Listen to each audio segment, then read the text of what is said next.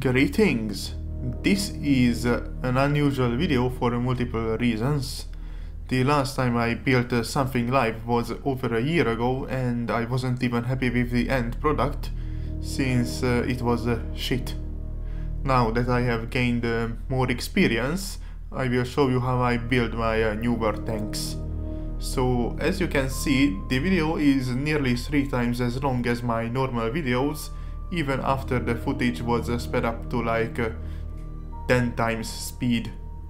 If I did the math correctly, you are witnessing around uh, 7 hours of uh, video recordings. So why did I make this video? To show people how I build, which uh, is done in a very inefficient way, but uh, it works for me. And also to show why I don't make live tank making videos I just uh, spend uh, way too much time on my tanks just uh, for them to end up uh, looking uh, quite uh, mediocre. So, a bit about the tank itself. I was playing the ASU 85 in War Thunder, which I genuinely hate to play, but it uh, gave me an inspiration. A chunky and lightly armored tank destroyer.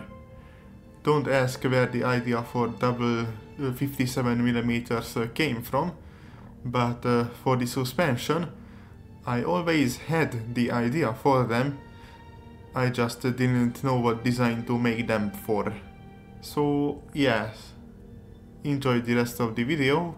If you like it, hit the dislike button. If not, hit the dislike button. If you want to, you can unsubscribe. Bye.